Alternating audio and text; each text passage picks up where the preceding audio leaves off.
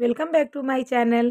आज हम आप लोगों के लिए बहुत ज़बरदस्त हाईवे चिकन कढ़ाई की रेसिपी लेके आए जो बनाना बहुत आसान है, बहुत कम मसालों के साथ, बहुत ही टेस्टी ये चिकन कढ़ाई बन के तैयार हो जाएगा और बहुत कम टाइम में बन जाने वाला ये रेसिपी है।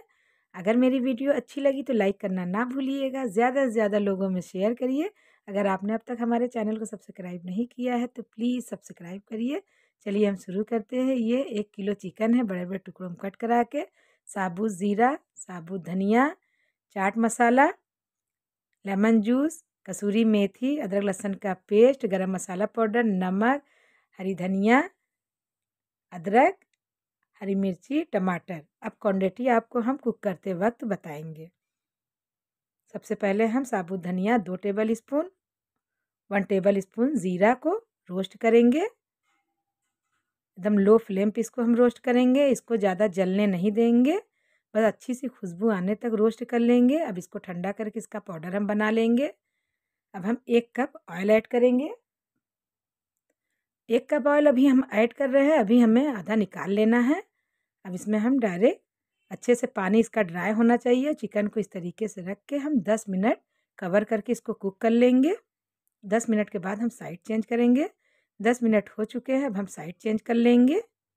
देखिए, बहुत फटाफट से, बहुत झटपट से, बहुत ही टेस्टी ये चिकन कढ़ाई बन के तैयार हो जाएगा। अब साइड चेंज कर लिए, अब हमें पाँच मिनट हम दूसरे साइड भी कवर करके कुक कर लेना है।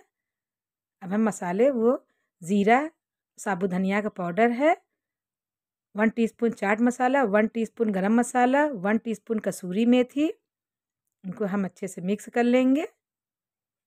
अब इसको हम साइड में रखेंगे। अब चिकन हमारा सेवेंटी परसेंट कुक भी हो चुका है, अच्छे से फ्राई हो चुका है, अब सारे हम निकाल लेंगे। अब सात से आठ पीस हरी मिर्ची को हमने हल्का सा कट लगा के ऑयल में ऐड कर लेना है और कवर कर देना है, इसलिए कि फ्राई होते वक्त मिर्ची फटती है। अब हम फ्लेम को बंद कर देंगे, मिर्चियों को निकाल लेंगे। अब हम थोड़ा सा ऑयल भी निकाल लेंगे। हमने आधा ऑयल निकाल लिया है। ये ऑयल आप किसी भी चीज़ में आप यूज़ कर सकते हैं। अदरक, लहसुन का पेस्ट ऐड कर देंगे एक टेबल स्पून ये चार टमाटर है मीडियम साइज़ का। इसको हम इस तरीके से कट कर लिए हैं। तो इसमें हम नमक ऐड करेंगे वन टीस्पून।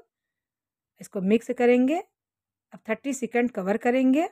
थर्टी सेकंड के बाद हम फ्राई किया हुआ चिकन ऐड कर देंगे। आप लोग हमें सपोर्ट करिए। आप लोगों के लिए इजी टेस्टी रेसिपी लेके हम आते रहेंगे। एक बार आप इस तरीके से चिकन कढ़ाई बनाएँगी, सभी को बहुत पसंद आएगा बार बार वो बनाने के लिए कहेंगे, बहुत ही टेस्टी बन के तैयार होगा। अब ये हम सारे मसाले जो मिक्स करके रखे थे, उसको हम ऐड कर देंगे।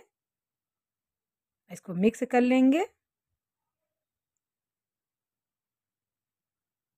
लेमन जूस ऐड कर देंगे, ये एक टेबल स्पून है, लंबे कटे हुए अदरक, हरी धनिया,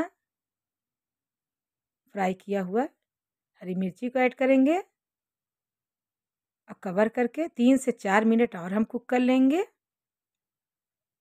तीन से चार मिनट हो चुके हैं, अच्छी तरीके से चिकन भी कुक हो चुका है और कढ़ाई बन के तैयार है।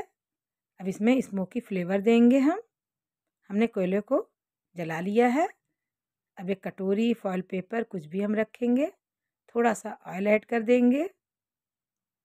इसको पाँच मिनट हम कवर कर देंगे पाँच मिनट हो चुके हैं, अब आपको हम सर्व करके दिखाएँगे। देखते ही तो मुँह में पानी आ जाएगा। इतना टेस्टी, इतना इजी रेसिपी बनाना तो बनता है। आप एक बार बनाइए। सभी को बहुत पसंद आएगा। और कैसा आपका हाईवे चिकन कढ़ाई बना है, हमें कमेंट में बताइए। देखिए, एकदम गल चुका है अच्छी तरीके से। इस तरीके से बनाइए, अपने फैमिली वालों के साथ इंजॉय करिए।